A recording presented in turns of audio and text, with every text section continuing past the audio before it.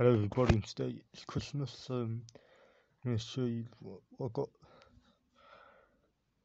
So I've got Uncharted 2, Lego Star Wars 3, Lego Lord of the Rings, Mario Wonder, Snow Business, Spider-Man Spider-Verse, got Super Mario Bros. figure, figurine, Keith Paratrooper, and I got um, Pulp Fiction poster, wall frame art, so that's cool.